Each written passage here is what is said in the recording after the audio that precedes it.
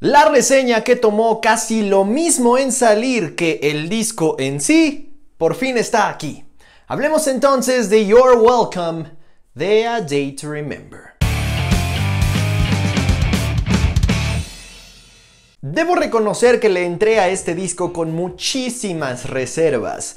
Por no decir que prácticamente estaba listo para que no solo creyera que era malo, sino para no disfrutarlo siquiera. Y es que después de tanto hype, tanto retrasar su lanzamiento y tantas malas críticas, realmente estaba esperando algo muy malo, sobre todo porque el disco vio la luz en una época en la que el pop punk y por ende, canciones de lo más simplonas están tomando por asalto los listados de popularidad que tienen algo que ver con el rock. Así que dije, wow, si hay gente que está amando el revival del pop punk y muchos de ellos mismos odiaron lo nuevo de A Day to Remember, realmente debe de ser una porquería.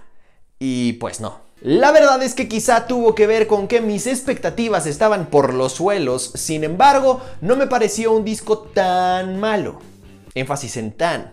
Quizá mal logrado, pero no malo per se. Y es que parece que Jeremy McKinnon y compañía fueran Warner y estuvieran a punto de lanzar una película de DC. Tienen muy claro lo que la gente espera de ellos y sin embargo quieren hacer algo distinto no necesariamente para tomar riesgos, sino por hacer algo que a la competencia le ha funcionado muy bien, incluso si eso mallogra su propia esencia. Al igual que Justice League, Your Welcome no es un resultado insoportable ni una porquería, simplemente es una pieza artística mal dirigida desde su parte conceptual. Pareciera que quisieron meter tres historias e intenciones completamente distintas en un mismo material. Hay partes que no tienen que ver con otras a tal grado que parece que fueran distintos productores los que dirigieron el proyecto.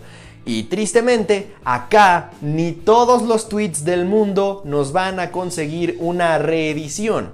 Así que sálvame esta, Zack Snyder. Más que un mismo álbum, pareciera una playlist en aleatorio de distintas bandas que los miembros de A Day to Remember han estado escuchando en los últimos días, o peor aún, de agrupaciones a las que la disquera les hubiera dicho que intentaran parecerse. Hay canciones como FYM y High Diving que tienen la calidad y complejidad de composición de MGK o Mod Sun y que claramente no le hacen justicia a lo que esta banda representa y puede ser. Y sin embargo, hay algunos destellos de un mejor giro de timón. Por ejemplo, Bloodsucker o Permanent son un esfuerzo más parecido al rock alternativo, mucho mejor logrado y con el que sin duda no habría tenido ningún problema. Específicamente en Permanent me encantó que incluyeran un gran breakdown, muy al estilo de sus raíces pero lo suficientemente corto y conciso como para no desentonar con el resto del track. Y por supuesto, están también las canciones que básicamente son A Day to Remember haciendo lo que A Day to Remember sabe hacer,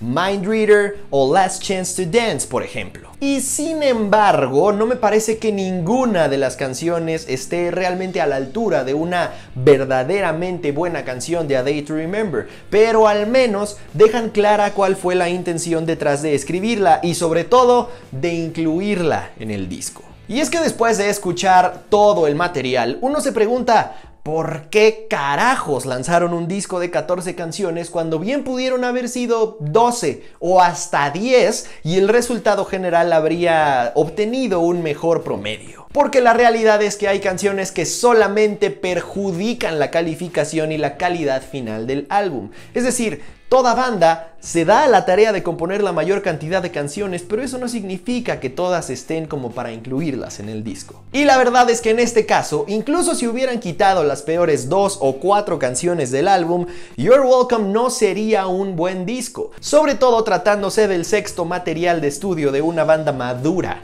como esta. Sin embargo, habría sido un bache mucho menos profundo e insisto, con una idea mucho más clara de la dirección que querían tomar. Así que sí, es un disco mediocre tirándole a malón. Sin embargo, no quiere decir que no valga la pena, pues vaya que encontré algunas canciones destacadas y que si la banda no se pierde con la recepción del álbum, que fue bastante malita, sí podrían ser indicios de lo que pueden traernos en un futuro no muy lejano. Así que de la misma forma que incluso si era mala, ningún fan de las películas de superhéroes y los cómics podía dejar de ver Justice League, así solo fuera por entenderle a los memes, los fans del rock actual y sobre todo de A Day to Remember no deberían dejar de escuchar You're Welcome. Quién sabe, igual y hasta el seguir en plena pandemia les ayuda a poder sacar más material para cuando vuelvan a turear. Y es por eso que a You're Welcome de A Day to Remember yo le voy a dar dos estrellas y media. Un álbum mediano en todo sentido, quizá más malo que bueno, pero que peca más por tratar de hacer demasiadas cosas a la vez que por ser malo en sí. Pero como siempre digo aquí, la opinión más importante es la suya, así que déjenme saber qué opinan de lo nuevo de Un día para recordar y cuántas estrellas le darían. Si llegaron hasta acá, comenten un emoji de manita haciendo así en señal de agradecimiento para darles mi corazón a cambio. Para más de distorsión están las redes sociales del canal y el podcast disponible en todas las plataformas digitales y para más de mí están mis redes personales donde podrán hacerme llegar sus peticiones, menciones, sugerencias y estar en contacto directo conmigo. Si les gusta lo que ven, los invito a que dejen su like, se suscriban con notificaciones activas para más del mundo del rock y a que hagan clic en este video de acá que seguro les interesará. Nos vemos en más de distorsión, ahora sí creo que estoy más cerca de ponerme al corriente, así que déjenme saber qué videos faltan, qué les gustaría ver, etcétera, etcétera. Les recuerdo que yo soy Alexis Castro, que el rock los acompañe.